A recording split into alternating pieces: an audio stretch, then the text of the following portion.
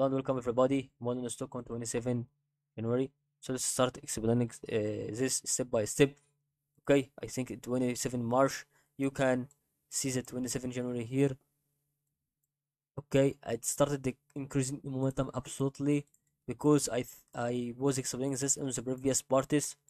Like if it's going to be understandable a little bit and not have a good uh, bad doubt about it.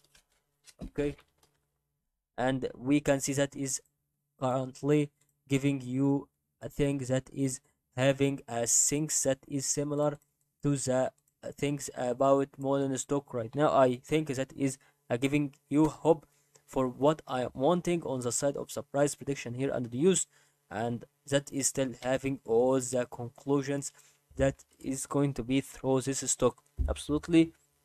However, that stock is still very good in progress and movements in the side of what is happening for the current uh, sides for the things that is still moving on the Mullen stock right now you can understand that is still very good for what I am having on the indication of what is having on the side on the price prediction and analysis and however that is still very uh, good indication for what is going to be in the side of the Mullen stock however this is still going to be moving for the fast price predictions if you have to see that is going to 10 cents. So it would give you an increase in momentum next time here.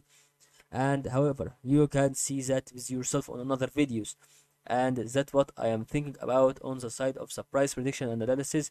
If you want to check on another videos it's going to be thrown one in stock. You can see that on uh, uh, another channels like top team traders and uh, like this you can understand that is going to be very important on that kind of stock in this another videos. Good luck